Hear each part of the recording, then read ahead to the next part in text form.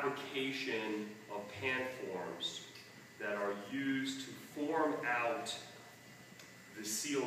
And if you ever go into the garage, what you see is between ribs or joists is a form like this that's hollow.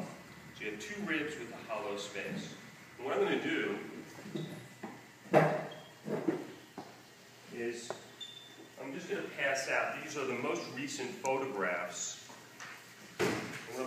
About, and you'll see this is it- it's passed around. These are pan forms, okay? And these create the, the shape of the garage ceiling. The floor and then the ceiling, this is the C level. So when you go below on the B level, you'll see all these ribs and uh, soffits. So you can pass this around. And there was the delay on that fabrication. But all in all, all in all, that is a minor delay when you have such a large project. So the project we had anticipated would be finished sometime in September has been pushed back to October. Um,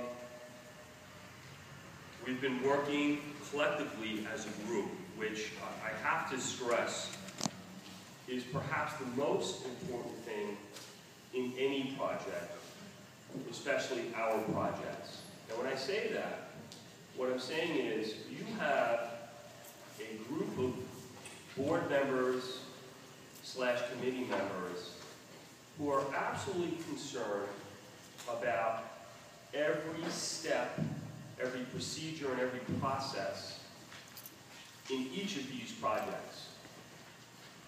We hold not only committee meetings and board meetings, but once the, once we are planning for a job, we hold committee meetings to discuss the progress, the bidding phases, when bids are due, selection of contractors, and then we get into the rhythm of weekly project meetings. Now, I've managed sites where the only one along with the architect making decisions, and that's very tough for a manager because you don't want to make the wrong decision and then be questioned by thousands of people of why'd you choose red and not blue. Uh,